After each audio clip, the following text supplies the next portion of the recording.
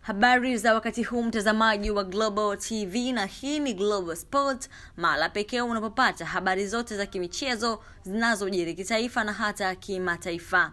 Siku ya leo kesi ya yanga dhidi ya mchezaji bernard morrison raia wa ghana ilikuwa inasikilizwa kwa mujibu wa kas baada ya kusikilizwa klabu ya yanga kupitia mtandao wao wa kijamii wa instagram wameandika Mahakama ya Kimataifa ya Usuluhishi wa Kimichezo CAS leo imemaliza kulisikiliza kesi ya rufaa ya klabu ya Yanga dhidi ya Bernard Morrison. Mara baada ya kumalizika kusikilizwa kwa kesi hiyo, kasi itatoa uamuzi kwa mujibu wa taratibu zake kuanzia sasa mpaka tarehe 24 mwezi wa 8 mwaka 2021. Uongozi wa klabu ya Yanga unawaomba wanachama wapenzi na mashabiki kuwa na subira wakati huu ambapo mahakama hiyo inaendelea kukamilisha uamuzi wake. Mwisho wa Katag, timu ya wananchi daima mbele, nyuma mwiko. Kwa habari nyingine za kimichezo, endelea kufuatilia Global TV Instagram na Facebook, Global Publishers Twitter ni Global Habari. Naitwa Irene Kilango, nikutakie wakati mwema.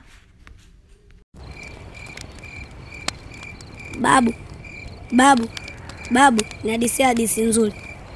Oh, hapo zamani za kale palikuwa na jabali mmoja tu.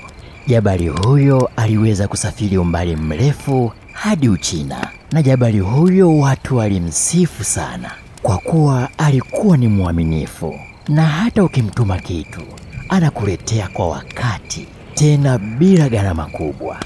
Je, unamjua aliitwa nani?